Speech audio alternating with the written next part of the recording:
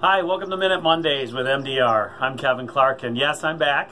Thank you, Renee, for last time. You were wonderful. So today I want to talk about bad days. Yeah, I know. We all have them once in a while. And I, I guess, I, and I'm not an expert in this field. and I'm not a, a counselor.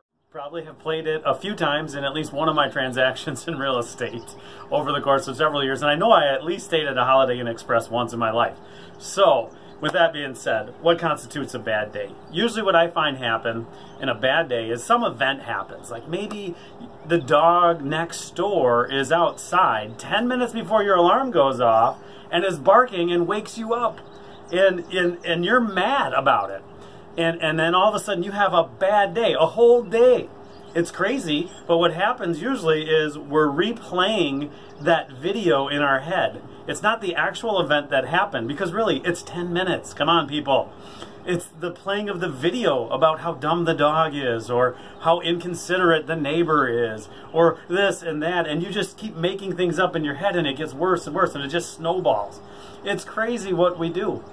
And so I encourage you to, to think on some, some good things throughout the day and try and replace that bad video that you keep create recreating in your head.